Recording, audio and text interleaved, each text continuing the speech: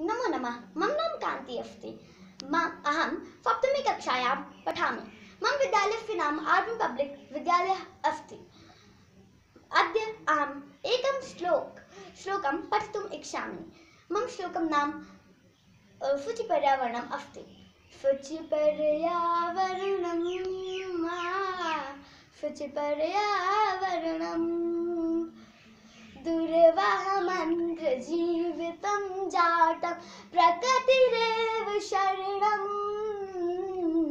शुचिपर्यावरणं शुचिपर्यावरणम् वायुमण्डलं मृगं दूषितं नाहि निर्मलं जलम्।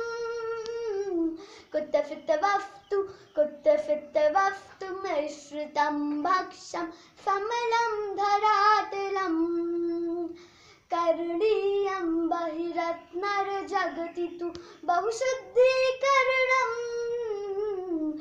शुचिपर्यावरणम् आ, शुचिपर्यावरणम्।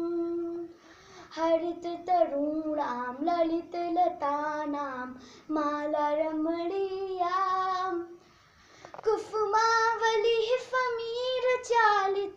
समीरचालिता षण्मे वर्णीयाम् नवमालिकारफालं मिलिता, रुचिरं सङ्गमनम् शुचिपर्यावरणम् आ शुचिपर्यावरणम् इस श्लोक का अर्थ है, यहाँ जीवन बहुत कठिन हो गया है, अतः प्रकृति ही शरण है।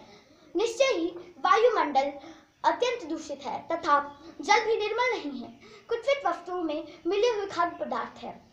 गंदगी से भरी हुई धरती साफ़ रखनी चाहिए सुंदर रखनी चाहिए। अ, हमें अपना देश साफ़ रखना चाहिए तथा सुंदर रखना चाहिए। हरे पेड़ों और सुंदर लताओं की रमणीय माला चुनने योग्य है। हवा द्वारा हिलाई गई फूलों की पंक्ति वर्णीय है। मिली हुई नव मालिका और आमों की अति उत्तम संगम रहा है। पर्यावरण को शुद्ध रखना चाहिए, पर्यावरण को शुद्ध रखना चाहिए। धन्यवाद, आपका दिन मंगलमय हो। नमस्ते।